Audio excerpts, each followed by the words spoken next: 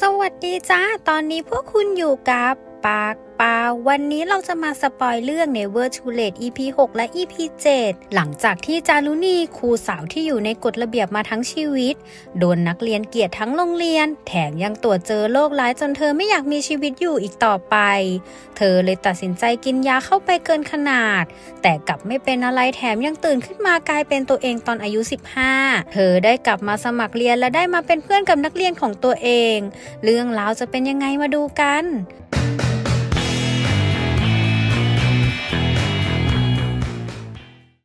เริ่มเรื่องกันที่อมรเทพเขาพานักมวยในค่ายไปต่อยนัดสำคัญ เป็นนัดที่จะช่วยให้ค่ายของเขาได้กลับมายืนขึ้นอีกครั้ง แต่ก็ต้องพ่ายแพ้ไป และปอนดีเจประจำโรงเรียนก็คือลูกของอมรเทพนั่นเอง และตอนนี้ค่ายของอมรเทพจะต้องปิดตัวลง เพราะเขาไม่มีเงินให้กับเด็กในค่ายแล้ว ย้อนกลับไปในปี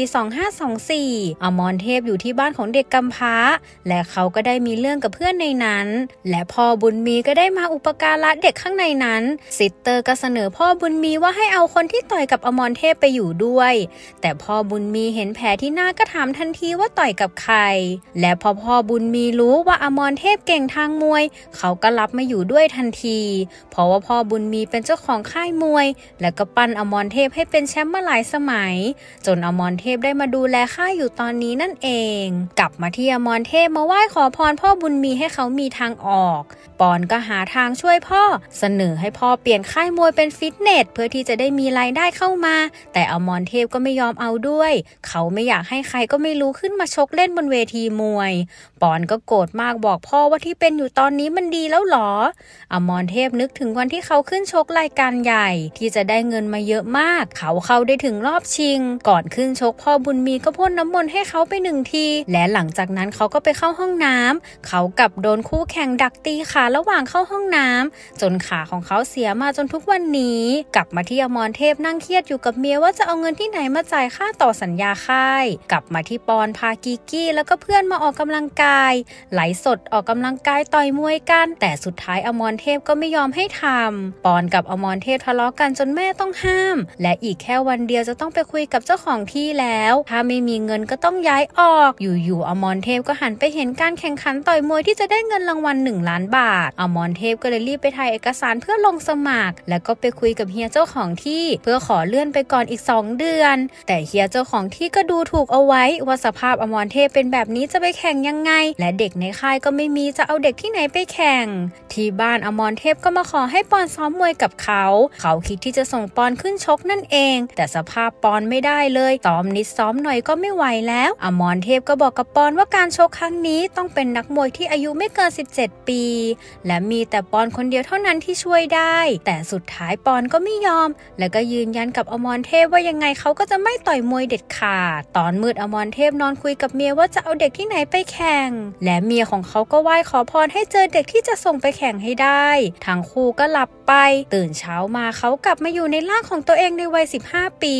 พอเมียอมรเทพเห็นก็ตกใจถีบอมรเทพตกเตียงไปเลย อมรเทพก็งง แล้วก็พยายามอธิบายว่านี่คือเขาเอง และเมียของเขากับปอนก็พาอมรเทพมาหาพระให้พระลดน้ำมนต์ให้เพราะคิดว่าผีมาสิงอมรเทพก็ว่าบอกว่าเขาเองจริง ๆ พระท่านก็ว่าเรื่องทั้งหมดเป็นเรื่องของโชคชะตาหรือกรรม สุดท้ายเมียกับปอนก็เลยยอมเชื่ออมรเทพบอกเมียว่าเขาจะไปเรียนกับปอนเพื่อที่จะเข้าไปหาคนมาขึ้นชกให้ได้ เช้าวันต่อมาอมรเทพก็มาเรียนกับลูกที่โรงเรียน ปอนก็ว่าเขาให้แยกกันอยู่ เพราะว่าเขาไม่สะดวกใจที่จะอยู่กับพ่อ อมรเทพก็เลยว่าให้เลิกเรียกพ่อก่อน ให้เรียกเขาว่าเทพเฉยๆก็พอ ปอนบอกอมรเทพว่านี่โรงเรียนเก่าพ่อให้พ่อดูแลตัวเองนะ ก่อนที่จะวิ่งไปหากีกี้ และในวันนั้นเขาเองก็ได้มาเจอกับคนที่ย้อนวัยสี่คนนั่นเอง อมรเทพรีบกลับมาเล่าให้เมียฟังว่าเขาได้มาเจอกับคนย้อนวัยเหมือนกัน เขาคิดว่าต้องเป็นโรคระบาดแน่ๆ ตัดมาวันที่ปอนกับสันยืนส่งกีกี้ด้วยกัน หลังจากนั้นปอนก็เดินกลับบ้าน อมรเทพก็รีบเข้าไปหาลูกทันที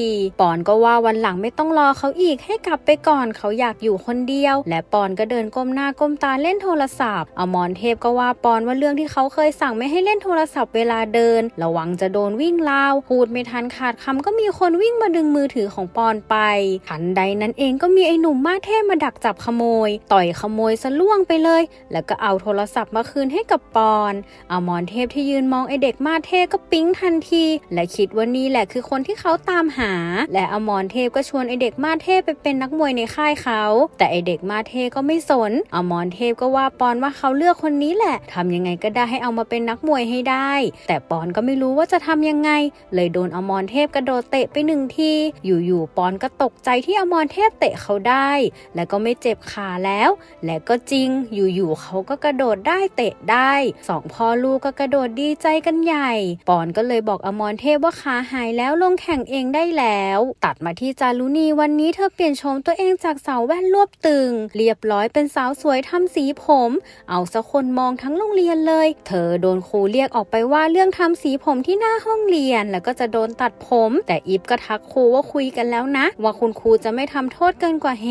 ตุ และจารุณีก็โดนฟาดตูดไปสามทีพวกหน่อยแน่ก็ว่ารู้อยู่แล้วว่าจะโดนลงโทษก็ยังทำหรอ จารุณีก็ว่าเขาแค่อยากรู้ว่าการทำผิดกฎเป็นยังไง และเธอก็รู้สึกแย่กับตัวเองมากตอนนี้ หน่อยแน่ก็ว่าสิ่งที่ทำกับสิ่งที่โดนมันเทียบกันไม่ได้เลยนะ คิดว่ามันแฟร์แล้วจริง ๆ หรอ กลับมาที่ปอนพากีกี้กับสันมาที่ค่ายมวย ปอนบอกกีกี้ว่าอมรเทพเป็นญาติของเขากำลังจะขึ้นแข่งสันที่รู้ว่าอมรเทพย้อนวัยมาก็ขำอยู่คนเดียว ทางด้านอมรเทพที่ห่างซ้อมไปนาน โดนหมัดไปนิดเดียวก็ล่วงเลย เขาตื่นขึ้นมาก็กังวลว่าจะกลับไปต่อยมวยไม่ไหว ตัดมาที่แก๊งย้อนวัยพากันมาหาลือสีเพื่อที่จะหาทางแก้ปัญหาที่ต้องย้อนวัยแบบนี้ลือสีให้ทุกคนเอาหน้าแช่ลงไปในน้ำมนต์เพื่อดูบาปของตัวเอง แต่ทุกคนก็มองเห็นแต่ร้านถ่ายเอกสารของอากงลือสีบอกว่าที่เป็นแบบนี้เพราะบาปของทั้ง 5 คนเป็นการรวมความผิดพลาดของจักรวาลไว้ด้วยกันจารุณีเป็นพวกคนที่ทำชีวิตไร้ค่า เจย่าเป็นพวกทำชีวิตประมาทอมรเทพเป็นพวกบาปที่ทำให้คนอื่นเจ็บ สันก็คือพวกมัวเมาอบายมุก ส่วนพลก็คือพวกอาเพศ วิธีแก้คือต้องก้าวผ่านหลุมดำมืดในจิตใจตัวเองไปให้ได้ หลังจากนั้นทุกคนก็มานั่งสุมหัวกัน ยอมรับว่าจะต้องอยู่ในสภาพนี้ตลอดไป แต่ถึงจะย้อนวัยความคิดหรือความทันสมัยของพวกเขาก็ไม่ทันเด็กๆเลย ระหว่างที่ทุกคนนั่งคุยกันอยู่ ทันใดนั้นเองหน่อยแน่ก็เข้ามาเจอ แล้วก็ต้องช็อกมากที่มีคนย้อนวัยเหมือนกับลุงเธอเยอะขนาดนี้ และเธอก็รู้แล้วว่าจินนี่คือครูจารุณีนั่นเอง เจย่าก็เลยบอกให้หน่อยแน่สอนความเป็นวัยรุ่นสมัยนี้ให้กับทุกคน อย่างแรกที่หน่อยแน่ขอก็คือให้เลิกส่งสวัสดีวันจันทร์ก่อน เช้าวันต่อมาสันก็มาจัดรายการกับปอน และสันก็จัดรายการได้แก่มากๆ เปิดเพลงเก่ายุคเขาปอนก็แนะนำให้สันจัดพอดแคสต์เพราะว่าเสียงของสันเพราะคนน่าจะชอบฟัง สันก็ทำเป็นพยักหน้ารับ แล้วก็รีบส่งไลน์ไปถามหน่อยแน่ว่าพอดแคสต์คืออะไรเกี่ยวกับแมวไหมเหนื่อยกับมันจริงๆระหว่างนั้นเองกีกี้ก็เข้ามาชวนสันกับปอนไปกินข้าว ก่อนสันไปก็จัดคำคมไปหนึ่งประโยคทำเอากีกี้ถึงก็ยิ้มออกมา กีกี้สั่งเบอร์เกอร์มาเลี้ยงสันกับปอน และกีกี้ก็เอาแต่นั่งมองหน้าสันอยู่แบบนั้น แล้วก็บอกว่าเธอเห็นหน้าสันแล้วนึกถึงขนมครกสันก็เลยว่าเขาจะซื้อมาให้ทั้งสองคนนะ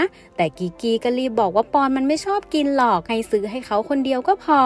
ปอนก็ได้แต่นั่งมองกีกี้กับสันด้วยหน้าเจื่อนๆยังไม่ทันจะได้กินสักคำปอนก็บอกว่าเขาอิ่มแล้วแล้วขอตัวจะไปก่อน ปอนกำลังจะลุกไปไอ้หนุ่มมาดเท่ที่เคยช่วยปอนเอาไว้ก็เข้ามา แล้วก็เอา QR code มาให้ลงความเห็นว่าอยากมีกิจกรรมอะไรใหม่ ๆ ในโรงเรียน และไอ้หนุ่มมาดเท่คนนี้ก็คือรุ่นพี่ของปอนนั่นเอง ปอนก็รีบเสนอบอกให้มาต่อยมวยกันเถอะตัดมาที่สันมาทำงานพาร์ทไทม์ที่ร้าน และที่ร้านก็ให้แต่งชุดธีมการ์ตูน สันก็เลยต้องใส่ชุดเป็ดแต่เคราะห์ซ้ำกรรมซัดปิมกับกีกี้ดันมากินขนมวันนี้ซะอีก ปิมเห็นก็ชมสันว่าใส่ชุดนี้น่ารักดีนะ สันก็ถึงกับเขินใหญ่ สันก็เข้ามาดูแลปิมเต็มที่ แถมยังเล่นบทน่าสงสารบอกว่าเขามาอยู่ที่นี่คนเดียวเรียนคนเดียว เขาพยายามสร้างเนื้อสร้างตัวอยู่ ตัดมาที่สันเลิกงานกำลังกลับมาที่ห้องพัก เขารู้สึกเหมือนมีคนตามเขามา และนั่นก็คือปอนนั่นเอง ปอนตามสันมาเพื่อที่จะมาถามสันว่าชอบกีกี้หรอ สันก็ว่าเขาไม่ได้ชอบกีกี้ ปอนก็เลยยอมบอกว่าเขาชอบกีกี้ แล้วก็ขอให้สันช่วยเขาจีบกีกี้หน่อย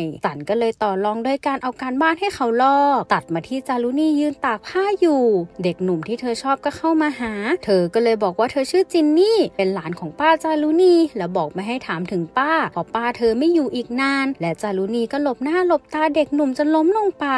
เธอเลยต้องมาหาหมอ แต่หมอก็ว่าเธอมีอาการแค่เส้นเอ็นพิกไม่ได้มีอะไรมากกว่านี้ จารุณีถึงกับงงว่าโรคร้ายของเธอหายไปด้วย เด็กหนุ่มก็มาดักรอแล้วก็พูดจนจารุณียอมกลับบ้านด้วย ระหว่างทางที่นั่งมอไซค์กลับ พวกหน่อยแน่ที่นั่งกินก๋วยเตี๋ยวอยู่ก็เห็นเข้าซะได้ หน่อยแน่ที่รู้ว่าจินนี่คือจารุณีก็ไม่กล้านินทากับเพื่อนๆ จารุณีกลับมาที่บ้านก็ไล่ทำตามหนังสือที่บอก แล้ววันนี้เธอก็ทำได้อีกหนึ่งข้อ นั่นก็คือสอนมอไซค์ใครสักคน ในห้องเรียนของพลครูก็ให้จับคู่กันทำรายงาน พลก็ได้คู่กับพิภูพิภูเสนอให้พลทำเรื่องซีรีส์วายพลก็งงเป็นไก่ตาแตกว่าซีรีส์วายคืออะไร กลับมาถึงบ้านก็เลยให้หน่อยแน่ช่วย หน่อยแน่ก็เลยให้พลนั่งดูซีรีส์วายระหว่างนั้นเองเมทีก็เข้ามา เมทีก็บอกว่าพิภูเล่าให้เขาฟังเรื่องพลแล้ว เมทีก็เลยฝากให้พลช่วยดูแลพิภูด้วย จบลงไปแล้วสำหรับ Never Too Late ตอนที่ 6 และ 7 เป็นยังไงกันบ้าง ถ้าชอบก็อย่าลืมกดไลค์ กดติดตาม กดแชร์เพื่อเป็นกำลังใจให้เราด้วยนะ และอย่าลืมกดกระดิ่งจะได้ไม่พลาดคลิปส